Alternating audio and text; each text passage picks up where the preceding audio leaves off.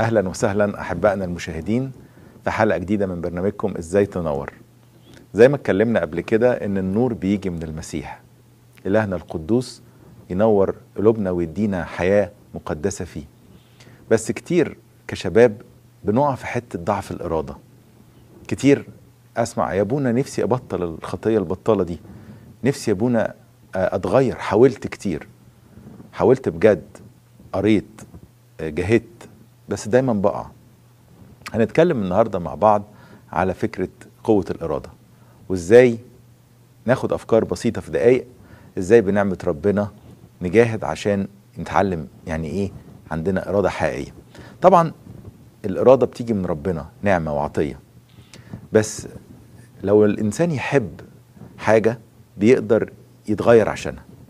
لما بتكون أنت بتحب رياضة معينة مثلا لو صحابك قالوا لك يلا هننزل نلعب دلوقتي أو رايحين نتفرج على ماتش أو حاجة بتبقى عندك النيه وعندك القوة حتى لو انت جاي من الشغل تعبان. بس لو انت مالكش في الرياضة دي أو ما بتحبهاش قوي مش هتحس ان انت نفسك تعملها قوي. فنمرة واحد عشان ربنا يدينا كده قوة الإرادة تعالى نقول له يا رب اديني محبة ليك حقيقية. طبعا إحنا بنتكلم على الإرادة بشكل عام ولكن بنتكلم مع في علاقتنا بربنا بشكل خاص. آه نفسي أصلي نفسي آه ألتزم بالإنجيل نفسي ألتزم بخدمة معينة. بعمل حاجة في يوم وعشر أيام لا. فنمرة واحد الحب. لما يملى القلب الحب ويبقى الإنسان فعلا بيحب الحاجة اللي بيعملها لما الإنسان يحب ربنا بجد تلاقيه دايما عنده قوة إرادة. لو تفتكروا مثلا اللي فيكم اللي فيكم يعني خاطب أو أو مقبل على خطوبة تلاقي اتنين مثلا مخطوبين سهرانين طول الليل يتكلموا في التليفون ويصحوا الصبح عادي يروحوا الشغل. ليه؟ أصل فيه حب. الحب يدي الإنسان قوة. طب أنا إزاي أحب ربنا؟ الحقيقة مش هتعرف تحبه من غير ما تشوف هو حبك قد إيه. لما تدرك محبة الله ليك لما تعرف قد إيه أنت غالي عنده قوي هتقدر تحبه. نحن نحبه لأنه هو أحبنا وبذل ذاته لأجلنا. لما تعرف غلاوتك عند ربنا قد إيه أنت مهم قد إيه أنت محبوب قد إيه ربنا دفع فيك قد إيه أنت ليك خطة ربنا حاططها لك عشان مجد وبركة وفرح في حياتك. ناس كتير قوي حزينة ناس كتير قوي مكسورة لأنه مفيش فيها قوة الإرادة. تعالوا أحبائي النهارده نحبه قوي ونطلب منه قوة عشان نقدر نحبه. لما هنحبه قوي قوي قوي هنقدر بنعمة ربنا نغير الموقف الضعيف ده ونلاقي نفسنا قدرنا يبقى عندنا قوة إرادة شوية. نقطة تانية وهي احذر من الجو المحيط. أنتوا عارفين الآية الجميلة اللي بتقول المعاشرات الرديئة تفسد الأخلاق الجيدة. يعني أنت في group مثلا وال group ده group مش مش ملتزم ملخبط مش مديلك كده قوة و support. طيب ما هو ده هيوقعك. حط نفسك في جو مشجع. حط نفسك جوه اصحاب مشجعين. حط نفسك في مجتمع أو في جو عندهم نفس الأهداف الكويسة بتاعتك. كلنا عندنا أصحاب بس مش كلنا عندنا أصحاب مناسبين. يا ريت تراجع. هل صحابي اللي في الدايرة بتاعتي كلهم بيفرحوا لنجاحي؟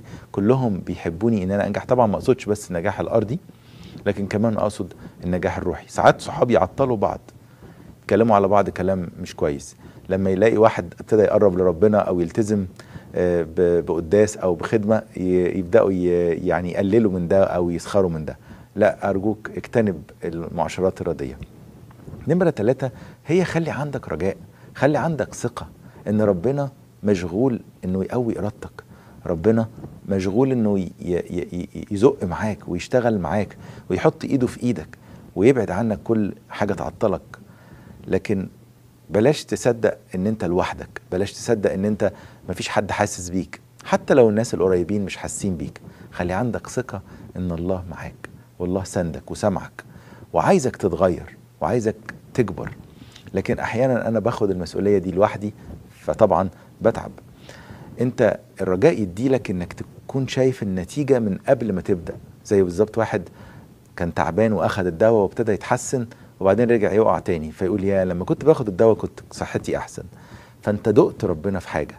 طب ما تدخل ربنا في كل حاجة. دخل ربنا في أمورك في ظروفك في دراستك في خدمتك في صلواتك في كل حاجة. لأنه زي ما قال كده بولس الرسول به نحيا ونتحرك ونوجد. نقطة مهمة جدا. افرح بالتغيير افرح بإن أنت بتغير نفسك. أحيانا أنا أكون داخل على خطوة مهمة في حياتي باخد قرارات كبيرة في حياتي الروحية. بس مش واخدها بفرح. آه، واخدها إنها عادة أو مجرد آه، لا. افرح إنك بتغير نفسك. قول كده أنا أحسن مع ربنا. أنا أحسن وأنا ماشي في النور مع ربنا. وهو قال كده تعرفون الحق والحق يحرركم. فحياتك أحلى مع ربنا قوتك أحسن سلامك أحسن.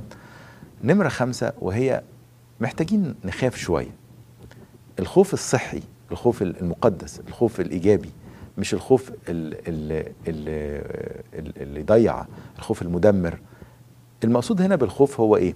لما بتكون أنت سايق العربية مثلا بتخاف مثلا تنام وأنت سايق أحسن تعمل حادثة. لما يكون عندك انترفيو أو عندك امتحان بتنام بدري أحسن يفوت عليك الامتحان. طب هل أنا مع ربنا بخاف؟ ولا مش فارق معايا قوي؟ خاف إن السما تضيع منك. خاف إنك تعيش أيام غير مقدسة. خاف إن الوقت يتسرق من غير فرح ومن غير سلام. الخوف يدي للإنسان خوف صحي يدي للإنسان شوية قوة على فكرة الإرادة. لكن الإنسان اللي ما بيخافش خالص. طب ما هم ما فيش فرامل في حياته. الخوف هنا أحبائي يدي قوة وبركة للإنسان لكن الإنسان اللي ما عندوش أي خوف مقدس تلاقيه مستبيح وبتلاقيه بيفوت لنفسه وبيدي لنفسه أعذار ويمسك ال ال الناس اللي حواليه يقع في الإدانة. ودي نقطة تانية إن أنت احذر من إن أنت تضيع وقتك في التركيز على ضعفات غيرك. ده أكبر معطل لقوة الإرادة. الواحد زي مش قادر على نفسه فيقعد يدور على ضعفات الآخرين. دي نقطة مهمة جدا يا أحبائي. نقطة تانية وهي اطلب بثقه في الصلاة. تأكد إن أنت كل مرة حتى لو قلت كلمة يا رب قويني بس. بس كده. قلت له يا رب قويني في الموضوع الفلاني. تأكد إن ربنا سامع جدا الصلاة. الصلاة هي بتدي لك قوة بتدي لك زي تغذية بتدي لك زي عارف زي يكون واحد كده هفتان ومش قادر يقف يصلب طوله وبعدين ياكل لقمة كده أو يشرب بق مية يحس إن هو إيه الصلاة كده بالظبط. الصلاة تدي للإنسان إيه؟ قوة تدي له معونة. قال كده ادعوني وقت الضيق أنقذك فتمجدني. اطمن طول ما أنت بتصلي أنا واثق جدا إن ربنا يسوع عمره ما هيكسف. قال كده لا يخزى منتظروه المتوكلون على الرب مثل جبل صهيون لا يتزعزع. ما تخافش اطلب من ربنا بإيمان وثقة. نقطة اخيره نقولها الجهاد اللي أنت بتجاهده ده المجهود اللي أنت بتبذله ده ليه بركة وليه تكليل وليه نعمة عند ربنا؟ فما تيأس وتقول إيه أنا حاولت ألف مرة حاولت كذا مرة حتى لو جاهد والله في الوقت المناسب هيدي لك نصرة على كل الجهاد اللي انت بتعمله ده وهيكللك.